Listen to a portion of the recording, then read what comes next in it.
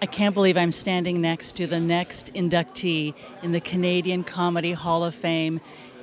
It's the unbelievable Steve Smith from the Red Green Show. Hello. Hi, hi. Thanks a lot for. Such a fan. And you must be so proud to finally be recognized. Yeah, you know, it's just uh, you just keep your head down and you keep slogging away, and then uh, uh, good things happen. And it's and the fact that it's in Hamilton is just awesome because I've been here for a lot of years. And you shot the show here in Hamilton. Yeah, it's all started at CHCH, you know, a million years ago. Now, why do you think Hamilton has produced so many great comedy performers?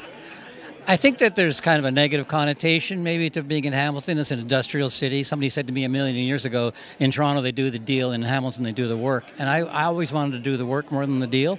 So I think out of that comes a sense of humor. You know, a lot of the blue collar people have a great sense of humor. It helps them get through the, the drudgery of their work. So it's a natural, I think.